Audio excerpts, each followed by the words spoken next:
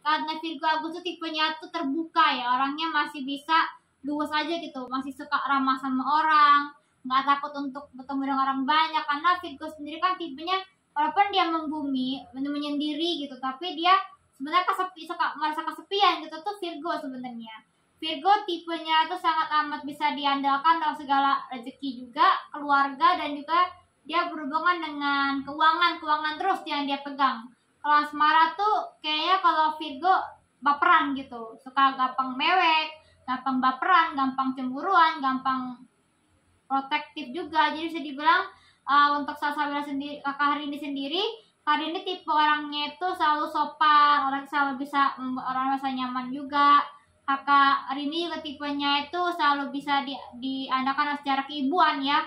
Karena kakak kakak hari ini itu punya sifat keibuan punya sifat kayak mengayomi menjaga pasangannya menjaga anak-anak karena kakak Salsabila kakak Firini itu senang banget anak kecil